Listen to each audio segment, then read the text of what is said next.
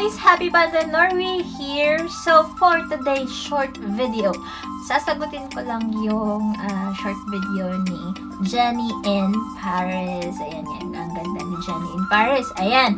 So, about to sa loyal and faithful. So, I have searched or research uh, kung ano yung difference ng loyal at saka faithful.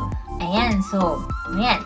So, yung na-research ko, yung loyal, ang main difference ng loyal, yung word na loyal at faithful is mainly the intensity of the attributes that carry along with two terms. Kasi yung loyal guy, meron kang nagigin or merong mutual benefits doon. While sa faithfulness, so it's either isa yung mag-benefits or it's either both.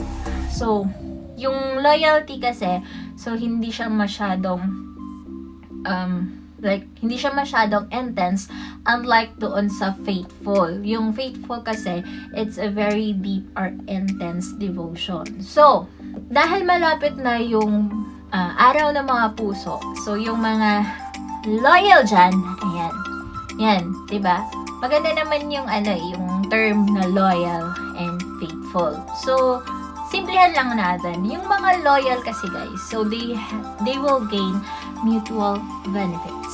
So like for example, sa mag-partner dyan. So they have mutual benefits. So they gain uh, with each other. Pero for example, uh, isang isang partner doon, pwede pa din silang mag-admire or tumingin sa ibang, like for example, sa mga magagandang dilag dyan, lalo na pag maputi, makinis, ayan, ba diba? So, pwede silang tumingin kasi they don't commit anything or wala naman silang makukuha na mutual benefits.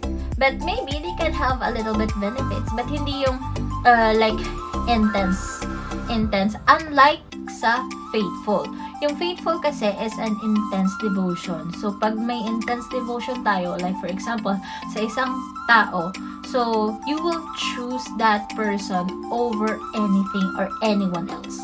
'di ba? Kahit meron siyang magandang dilag na dadaan sa kanila dahil faithful sila na tao. So they don't mind it because they have their full devotion sa partner nila. So yun lang guys.